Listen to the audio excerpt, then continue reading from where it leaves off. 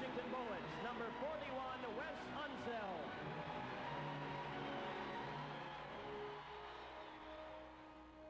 Nothing that Wes achieved surprised me.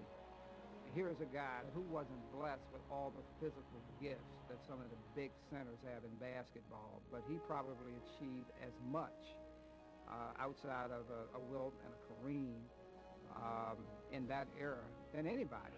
Unseld with a rebound. Clears it up to Dandridge. Wes Unseld. In 1988, Wes received the ultimate honor as he was enshrined in the Basketball Hall of Fame. You know, people always ask me, say, how tough was it to play against Bill Russell, Wilt Chamberlain. They didn't really understand that when you played against Wes Unseld, he abused your body.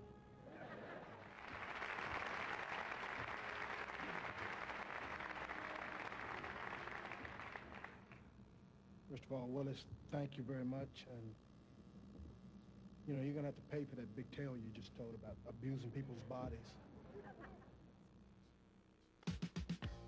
6'7", 245 pounds, and solid as a rock, Unseld made his presence felt around the NBA throughout the 70s. Unseld offensive rebound. His size, he was thick. He was a man, a man's man. And so when you see him make a move or you see him uh, making defensive moves on you, you, you, you just, he controlled you. And he took control of the Bullets, leading them to the NBA Finals four times during the decade. Unseld's last appearance came in 1979 when Washington met Seattle for the second year in a row, only to lose four games to one. One year earlier, Unseld and the Bullets had simply refused to be denied. DJ around the top of the horn, shoots to the right side. There's his baseline jumper. Off the back of the rim. Unseld rebound, back up, no, call timeout. Wes would be the probably the only guy I know that would get a rebound, okay, under the basket and throw a chest pass to length of the floor for somebody to score on the other end. Wes was just a competitor. That season of 1978 was the pinnacle of Unseld's career as he led the underdog Bullets on a remarkable playoff run. Brown is down low, trying to get open. They give it to Dennis Johnson. He'll spin the left side to the corner. Long jumper off the back of the rim. Unseld, the wrong rebound. Shovels to Dandridge. Warm up the fat lady. Warm up the fat lady. The Bullets are going to win. Washington prevailed over Seattle in seven games, and Wes Unseld was named MVP of the finals. For the first time in 36 years, Washington, D.C. has a major sports world champion. Unseld a rebound, looking down court. He's a bigger version in some respects of, of Charles Barkley. For him to accomplish what he accomplished was the physical talents and skills that he had. He wasn't exceptionally quick. He wasn't a great leaper. He didn't have great size and got as much out of what he had talent-wise as any player who's ever played the game. In 1975, Unseld led the league in rebounding, but the heavily favored Bullets fell to Barry and the Golden State Warriors in a four-game sweep, one of the NBA's most stunning upsets. Still, Wes had established himself as a team's anchor in the middle. He was a rock. He was the leader of our team.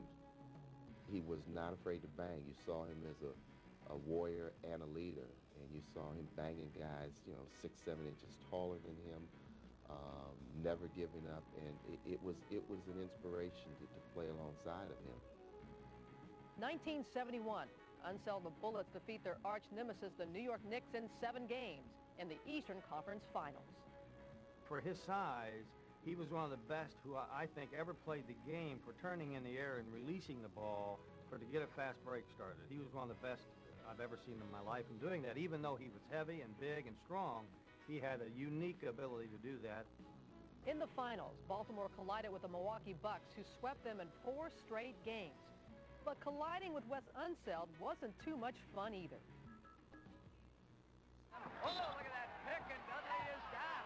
Hold on. To run into a pick that Wes set was like uh, running into a, a brick wall. I mean, you, whoever it was, bounced off of it. Gets a pick high from Unseld. And he's always talk about it prior to the game.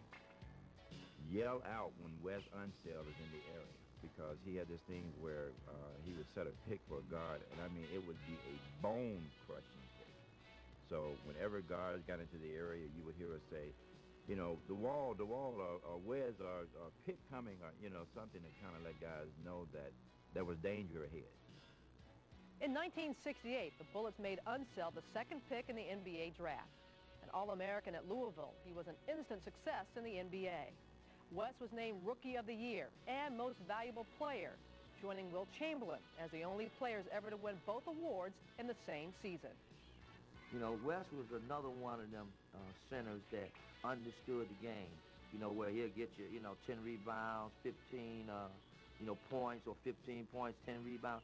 He understood the game. In that rookie season, Wes led Baltimore from last place to first in the Eastern Division. It was a 21-game improvement and marked the Bullets' first winning season ever.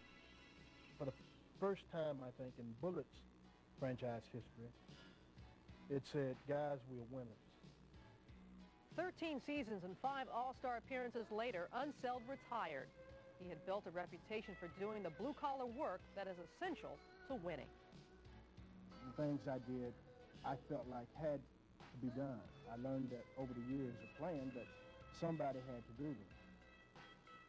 I tried to do the job, and I didn't care really how I got it done as long as it got done.